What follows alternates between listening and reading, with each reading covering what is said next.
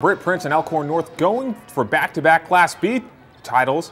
Facing Skutt, time winding down first quarter, it's Prince for three, beating the buzzer. Wolves up three after one. Time winding down the second quarter, Hannah Nadgwick with a buzzer beater of her own. Elkhorn North up 17-10 at the half. Let's go to the third quarter now. Skyhawks trying to hang around. Peyton McCabe, two of her team high 13 points, but Skutt is still down eight. Fourth quarter we go.